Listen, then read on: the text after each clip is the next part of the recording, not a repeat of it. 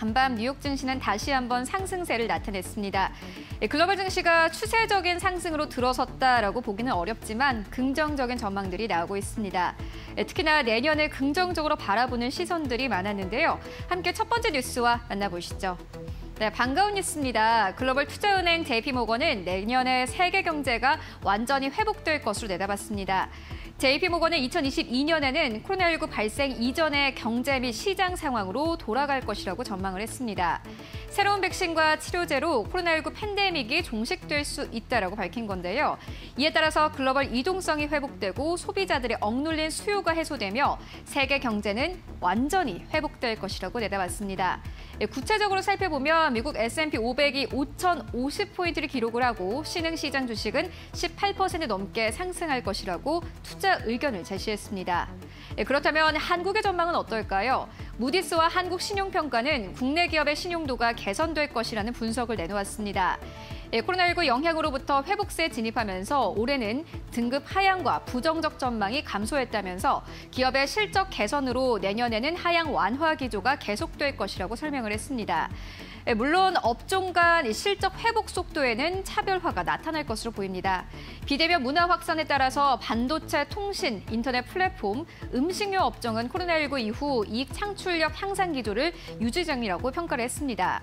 예, 대부분의 업종이 이렇게 코로나19 발생 이전보다 실적이 회복됐지만 주의를 해야 할 섹터도 있습니다. 해외여행, 집합 통제에 따른 수요 위축, 그리고 원자재 급등으로 상영관과 호텔 면세, 조선업은 영업 실적 부진이 계속되고 있다고 설명을 했습니다.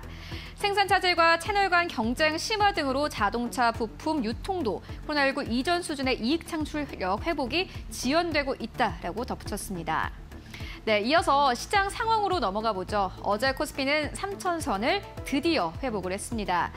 예, 국내 코로나19 확진자 수와 코스피 추이가 서로 엇갈린 겁니다. 증시 전문가들은 확진자 수 추이보다 전 세계적인 불확실성 완화 추세가 호재로 작용했다라는 분석을 내놓았습니다. 예, 특히나 이번 반등에는 외국인의 역할이 컸습니다. 외국인은 이달 들어서만 코스피에서 2조 1,182억 원을 순매수를 했습니다. 지난달 한 달간의 순매수 규모와 맞먹는 수준입니다. 예, 증시 전문가들은 확진자 수에 대한 국내 증시의 민감도가 떨어진 상태다라고 평가를 했는데요.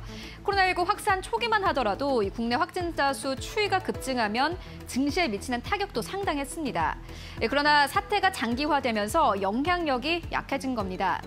이 오미크론 변이의 영향 역시 같은 맥락입니다. 우려했던 것만큼 심각한 충격을 주지는 못할 것이라는 기대감이 일면서 국내외 증시는 빠르게 회복을 하는 추세입니다. 예, 반면 아직 외국인이 추세적으로 순매수에 돌아섰다고 판단하기는 어렵다는 신중론도 있습니다. 예, 신영증권의 한 연구원은 외국인의 매수의 80% 이상이 삼성전자와 SK 하이닉스에 집중돼 있다면서 따라서 외국인이 국내 시장에 들어왔다고 보기보다는 반도체주를 샀다라고 보는 편이 맞다고 투자 의견을 남기기도 했습니다. 이 밖에도 연준의 긴축 속도와 아직 정보가 부족한 오미크론의 정체, 그리고 우크라이나와 대만을 둘러싼 지정학적 리스크 역시 언제든지 외국인이 다시 국내 시장에서 돌아설 수 있는 리스크로 꼽히고 있습니다. 네, 이번에는 종목별로 살펴보고 가도록 하겠습니다. 에코프로비엠 최근 시장의 변동성이 확대되면서 주가가 큰 폭으로 빠졌습니다. 네, 어젠 또 한 가지 이슈가 나왔는데요. 양극재를 생산하는 에코프로비엠이 헝가리에 8억 달러에 달하는 투자에 나선다는 소식입니다. 네, 로이터바의 소식인데요. 로이터에 따르면 헝가리 외무장관은 페이스북을 통해서 한국의 에코프로비엠이 헝가리에 양극재 생산 공장을 건설할 계획이다라고 밝혔습니다. 투자 금액은요 무려 8억 1천만 달러입니다. 헝가리 동부 데브레첼의 첫 번째 건설이 시작이 되고 2024년 하반기 완료 예정이라고 합니다. 네, 그렇다면 규모는 어떨까요? 이 공장은 무려 연간 135만 대의 전기차를 공급할 수 있는 10만 8천 톤의 양극을 생산하게 됩니다. 헝가리 장관은 자동차 산업은 헝가리 전체 제조 산업 생산량의 30%를 차지한다면서 자동차 부분에 대한 더 많은 투자 유치가 미래 경제 성장에 결정적이다라고 밝혔습니다. 또 헝가리 정부가 에코프로비엠에 보조금을 제공하고 있다면서 그 금액은 유럽 집행위원회에 거래가 통보된 후에 발표가 될 예정이다라고 밝혔습니다. 권우석 에코프로비엠 대표는 협약 후에 빠르게 성장하는 유럽 시장은 에코프로비엠에게 매우 좋은 기회다라면서 이번 투자는 우리의 첫 외국 투자이자 중요한 발걸음이다라고 밝혔습니다. 오늘 에코프로비엠의 주가 흐름 잘 체크를 해보셔야겠습니다. 네, 그리고 오늘은 카카오뱅크의 주가 추이에도 좀 주목을 하셔야겠는데요. 넷마블이 어제 카카오뱅크 주식 전량인 760만여 주를 시간에 블록딜 방식으로 매각을 했습니다. 거래 규모는 5,143억 원입니다. 주당 처분 가격은요, 어제 종가와 동일한 67,500원입니다. 모건 스탠리가 관련 실무를 맡았는데요.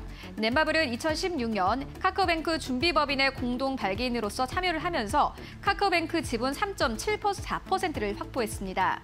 당시 주당 매입 가격은 5천 원이었습니다. 앞서서 넷마블은 상장 직후인 지난 8월 10일과 25일 두 차례에 걸쳐 주식을 처분하기도 했습니다. 이번 블록딜로 넷마블은 4,762억 원의 차익을 추가로 확보를 하면서 5년 전 인수한 지분으로 올해에만 1조 원에 달하는 수익을 냈습니다. 해당 지분의 처분 예정에는 오늘 13일이라고 합니다. 네마블은 유동성과 재무 건전성 확보 차원에서 투자 주식을 매각하게 됐다고 공시를 했습니다. 오늘 카카오뱅크 그리고 넷마블의 주가 추이 변동성 잘 확인을 해보시기 바랍니다. 네. 이어서 LG 에너지 솔루션이 내년 1월 상장을 목표로 증권 신고서를 제출했습니다. 글로벌 업체 CATL과 비교를 해도 이 112조 원에 달하는 기업 가치가 산출이 되고요. 추가적인 성장 가능성도 제기되는 만큼 역대급 IPO로서의 기대가 모이고 있습니다. 공모가 밴드 기준 공모 규모는 최소 10조 9,225억 원에서 12조 7,500억 원으로 기존 역대 최대 규모의 IPO였던 2010년 삼성생명을 가볍게 뛰어넘는 규모입니다. 예, 공모가가 최상단으로 정해진다면 삼성전자와 SK 하이닉스에 이어서 시가총액 3위권을 차지할 수 있고요. 최하단이더라도 삼성 바이오로직스, 카카오 등을 넘기고 4위에 오를 수 있는 규모입니다. 그리고 자연스럽게 LG 에너지 솔루션을 100% 자회사로 두고 있는 LG화학에도 관심이 쏠립니다. 이 공모가가 희망밴드 최상단으로 결정이 된다면 LG화학 역시나 최대 2조 5,500억 원에 달하는 자금 유입이 가능해지기 때문입니다. 예, 키움증권의 한 연구원은 전방 시장의 성장이 계속되는 가운데 LG 에너지 솔루션의 상장 이후 회사의 전지 소재 사업의 가치가 본격적으로 부각될 것이다라고 전망을 하기도 했습니다. 네, 이렇게 다섯 가지 기업별 뉴스를 만나보고 왔습니다. 전문가들은 전략을 어떻게 보고 있을지 함께 만나보도록 하겠습니다. 오늘은 메리츠증권 도곡금융센터의 이권희 차장 연결해 보겠습니다. 안녕하십니까? 네, 안녕하세요. 네, 오늘 시장을 움직일 이슈 어떤 것들에 집중하고 계십니까? 이미 뭐 어제부터 조금 움직이기 시작했던 것 같은데 LG 에너지 솔루션 IPO가 이제 본격화된 게 이제 가장 큰 이슈로 볼 수 있을 것 같고요. 일단 뭐 좀 전에 설명하신 것처럼 LG 에너지 솔루션이 이제 증권 신고서를 제출하면서 내년 1월 27일 정도에 상장 예정이 이제 됐습니다. 희망 공모가 예상 시총이 한 60에서 70조 정도 되는데 일단은 뭐 상장해 보면 그보다 더 나올 수도 있다라고 뭐 예상을 하고 있는데 최근 이제 2차 전지 셋업체들 주가가 이제 뭐 3사 배터리 3사가 이제 대부분 주가가 안 좋았던 부분이 있었 있었는데 그리고 소재 중심 이제 중소형주 위주로 이제 중, 상승을 했던 부분이 있었고 이제 2차 전지 3사가 저평가가 조금 이제 해소될 가능성이 높아지지 않았나라 생각을 하고 있습니다. 그래서 LG 에너지 솔루션이 상장하게 된다라고 하면 그 이후로 이제 valuation에 대한 조정들이 좀 이루어질 걸로 보이고요. 그래서 관련 종목으로는 LG화학, 삼성SDI, SK이노베이션을 좀 주목해, 주목해야 될 시점이다라고 생각하고 있고 그 중에 이제 가장 관심 있는 종목은 결국 이제 LG화학인데 현재 LG화학 시총이 이제 어제 종가 기준으로 한 53조 정도 되고 있는데 이제 LG 에너지 솔루션 예상 시총이 60에서 70조 뭐 이제 미니멈으로 이제 예상 밴드가 내로 이제 상장을 한다라고 하면 그 정도 예상이 되고 시장에서는 뭐 110, 120조까지도 얘기가 나오고 있는 상황입니다. 뭐 그 이유는 뭐 다들 아시다시피 이제 1위를 다투고 있는 중국의 CATL의 시총이 약 한 200조 정도로 상회를 하고 있기 때문에 어 일단 뭐 그거에서 조금 할인을 한다 뭐 하더라도 뭐 정부 보조금이라든지 여러 가지 여러 가지 때문에 이제 수익률이 우리나라가 좀 떨어지기 때문에 LG화학이 그런 부분들을 감안하더라도 뭐 100조 이상은 충분히 나오지 않겠냐라고 생각을 하고 있고요. 근데 이제 LG 에너지 솔루션은 이제 인적 분할이 아니라 물적 분할이기 때문에 상장 전까지 이 가치를 반영할 수 있는 건 오로지 이제 LG 화학밖에 없는 상황이고요. 그런 부분에서는 이제 저평가가 좀 해소될 국면이 좀 모멘텀에 남아 있다라고 생각을 하고 있습니다. 그리고 뭐 여러 이제 그 애널들이 얘기한 것처럼 LG 화학이 단순히 이제 화학 부분과 배터리 부분으로만 나눠져 있는 게 아니라 LG 화학 내에서도 배터리가 떨어져 나가더라도 배터리 소재 관련된 뭐 첨단 소재 사업부가 따로 남아 있고요. 양극재 사업이라든지 뭐 분리막 사업 그다음에 뭐 CNT 도전제 사업 이런 것들 계속 키우고 있는 중이기 때문에 만약에 이제 이런 것들이 더 부가 그동안은 이제 그 배터리 생산 쪽에 주목이 되면서 좀 묻혀있던 소재 사업 부분들이 좀 더 이제 주, 주목을 받을 수 있다라고 생각을 하고 있습니다. 그래서 지금은 이제 상장 전까지는 이제 LG 화학을 주로 이제 주, 뭐 중심으로 좀 보셔야 될 것 같고 매수가는 한 75만 원 부근 정도면 괜찮을 것 같고요. 목표가는 예상 30% upside 가능한 105만 원, 손절가는 69만 원으로 짧게 제시해드리겠습니다. 네, 그렇다면 사장님 이, 이 종목 같은 경우에는 어느 정도의 좀 기간을 두고 좀 접근을 해보면 좋을까요? 일단 뭐 지금은 상장 전까지만 지금 대응을 하시는 게 맞을 것 같고요.